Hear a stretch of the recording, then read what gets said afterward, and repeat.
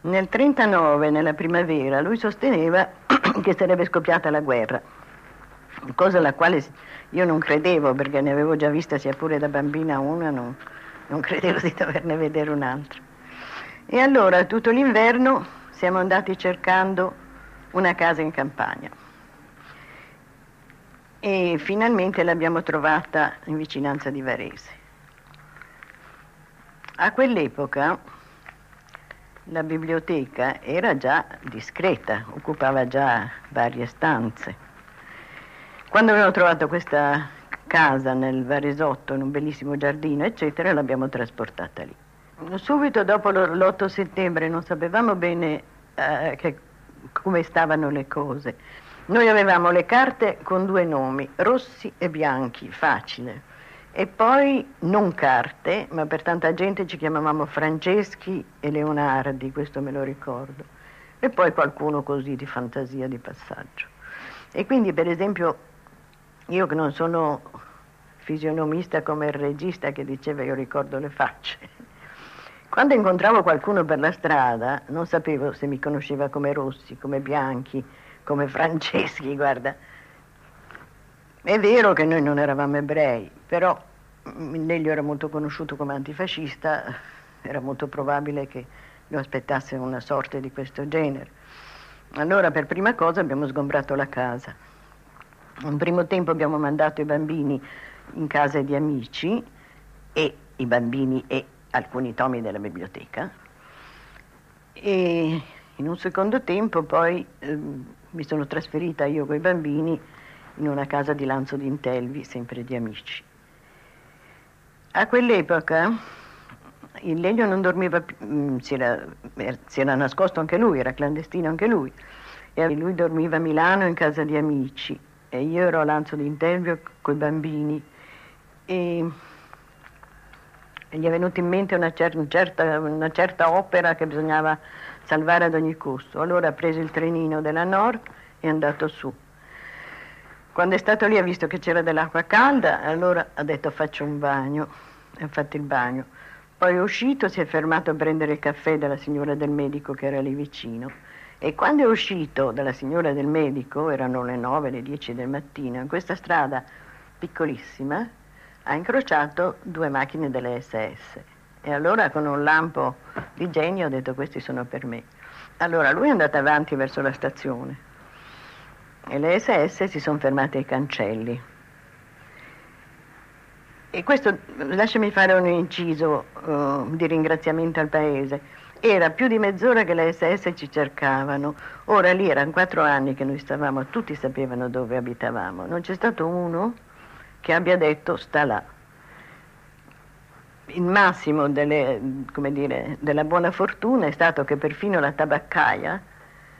che era al di là della ferrovia, ha detto, ah io non lo so, vengono qui a prendere il giornale, ma dove stanno non lo so. Tanto sono calate le sbarre. Quindi hanno perso ancora 5-6 minuti che hanno permesso al legno di prendere il caffè, di uscire e di essere in strada quando loro sono arrivati.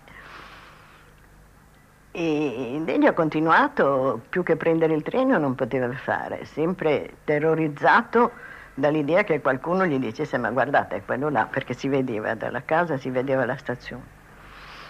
Allora lui è rimasto lì alla stazione ad aspettare il treno dando le spalle alla casa, guardando un giornale. E intanto un mio compagno di scuola, un certo avvocato Russi, invece voltato dall'altra parte, gli dava il resoconto della partita. Hanno aperto il cancello, stanno sfondando la porta, aprono le, le finestre. Finalmente il treno è arrivato, lui si è imbarcato ed è corso subito su a Lanza a vedere se erano arrivati da noi. E poi siamo scappati, anche da lì, la mattina. Noi non ci muovevamo se non con i tre bambini e con un certo numero di volumi, insomma, non li abbiamo mai lasciati incustoditi, per esempio la Voix du Peuple. E allora, come dicevo, avevamo i due bambini grandi avevano le loro biciclettine, il piccolo stava sul, sulla canna della bicicletta dell'Elio, me lo portavo io. E poi avevamo il pacco de, dei libri. Conoscevo bene i dirigenti socialisti che abitavano a Milano, in modo particolare Turati, Treves, che erano degli, degli sconfitti, erano della gente appunto che non sapeva far altro che pensare di aspettare un domani che la tempesta sarebbe passata da sola. Direi che in quell'ambiente forse la persona che portava una maggiore vivacità era ancora Anna Kulishov. Eh, viceversa, fuori da quell'ambiente c'erano delle personalità eh, come Rosselli, come in certa misura Pietro Nenni, ma direi soprattutto come esempio per tutti Salvemini, che fu l'iniziatore e il fondatore del primo giornale clandestino d'Italia, il Non Mollare, che noi ricevevamo regolarmente a Milano, veniva portato a Milano in, alla sede del partito unitario in via della Signora, da dove veniva ritirato da una squadra di studenti che io come presidente di studenti antifascisti avevo formato. Noi andavamo là, quando sapevamo che era arrivato, ne prendevamo ciascuno un po',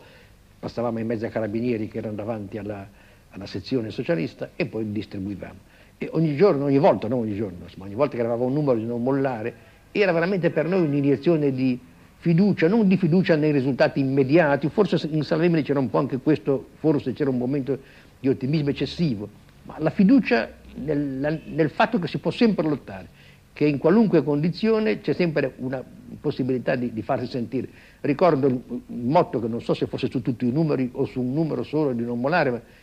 ci hanno tolto il diritto di parlare, ce lo prendiamo. Eh, cioè, facciamo, non importa che la legge ci vieti, noi facciamo la stampa clandestina e domani faremo altre cose, ma non cederemo mai, non saremo mai della gente che lascia che il fascismo vada avanti per la sua strada. A mio parere, eh, Rosselli, del resto anche la sua evoluzione successiva l'ha dimostrato,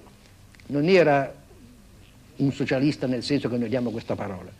era un, appunto come si è chiamato lui, se vogliamo, un liberale socialista, cioè in lui certe, eh, certe influenze inglesi erano molto forti, molto sentite, eh, e lui pensava di fare un'iniezione di questo pensiero liberale nel movimento socialista e aiutarlo a rinnovarsi. Io l'ho conosciuto poco dopo, pochissimo dopo che lui era venuto da Genova a Milano e credo che questo accadesse all'inizio dell'anno accademico 25-26 perché venne eh, come assistente di Einaudi all'Università Bocconi, se ricordo bene. Comunque venne in quel periodo a Milano e prese subito contatto con un ambiente socialista. Fu, fu veramente molto amico di casa e subito interessato a partecipare alle riunioni che lui faceva per fondare questa rivista a Milano eh, che sostituiva quella che avrebbe dovuto fondare, che voleva fondare a Firenze già prima con Salvemini. Mm, questa rivista si appoggiò soprattutto a Nenni come eh, politico socialista Nenni era anche nel partito massimalista, ma rappresentava l'ala che avrebbe voluto la riunione, la riunificazione con eh, la corrente turatiana, con il partito unitario, come si chiama. Ecco, quindi si tennero diverse riunioni, ma mi pare quella decisiva, se ricordo bene, nello studio dell'avvocato Nino Levi, e si decise la fondazione, mi pare per il marzo 26, uscì questo settimanale a cui io collaborai in un primo periodo molto attivamente, scrivendo articoli un po' bizzarri, letti oggi da me stesso mi sembrano un po' così, perché, eh, ma erano, avevano un senso, era una polemica molto vivace contro il positivismo che aveva portato il socialismo italiano ad una condizione di stagnazione di pensiero e in un certo senso di rassegnazione, eh, si era evoluzionisti, fatalisti, oggi le cose cambieranno da sé, Turati ci raccomandava sempre, io frequentavo anche casa Turati, ci raccomandava sempre di non esporci, di lasciare che il temporale passasse, mentre noi eravamo giovani volevamo lottare. E in questa nostra volontà di attività, eh, da un lato Nenni, che era anche lui certamente, uno mi ricordo aver sentito per la prima volta da lui eh, il giudizio un, un rivoluzionario non, è mai sconfitto se non vuole, cioè è sconfitto quando decide di essere lui, quando si arrende, ma si deve, deve sempre trovare qualcosa da fare e Rosselli poi che era l'attivismo personificato. Si dovette costruire il socialismo dall'alto,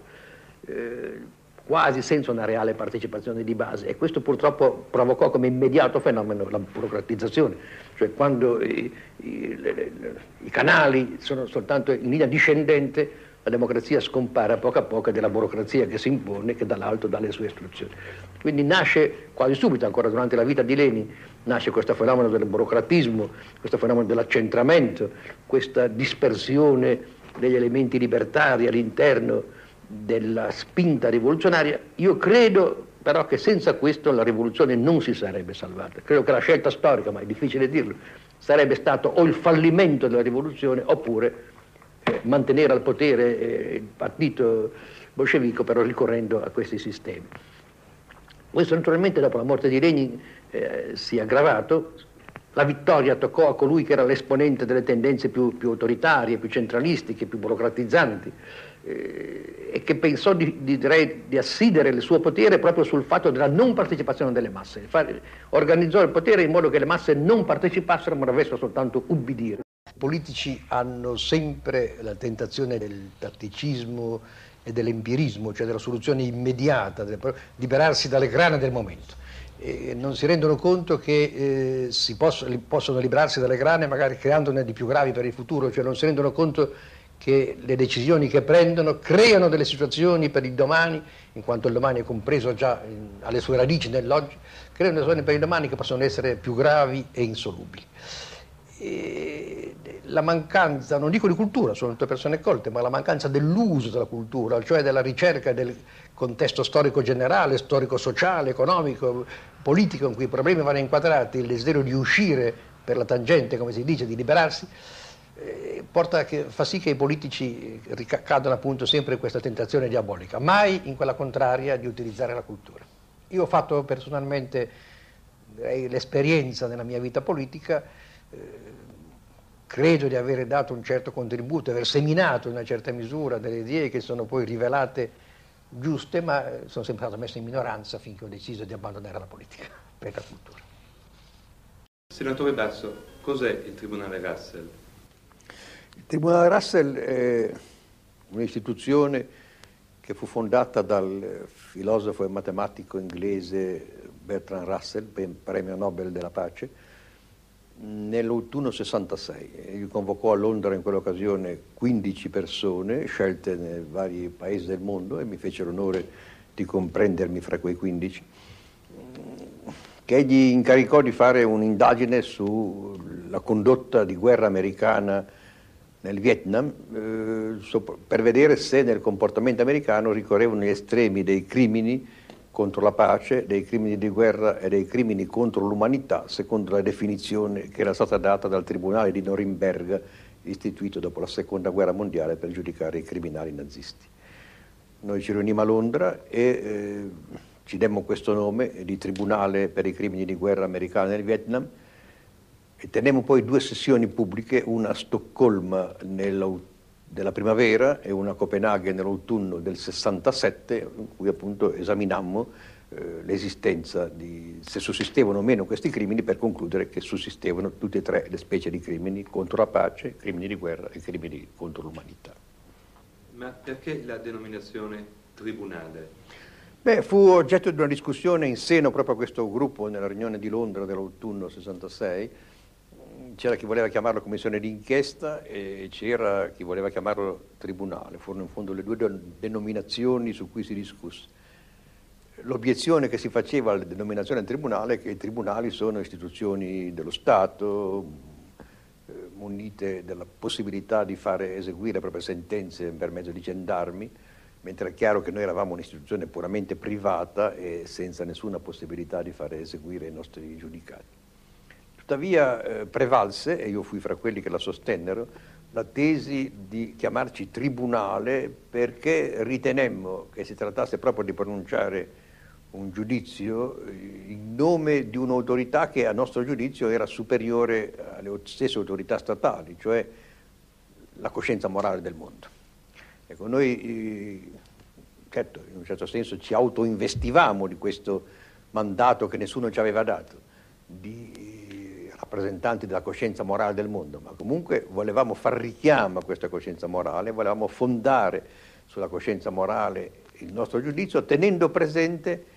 che il diritto internazionale è un diritto in evoluzione e che secondo gli stessi trattati esistenti e secondo le dichiarazioni dei diritti dell'uomo, la coscienza morale è anche una fonte di diritto.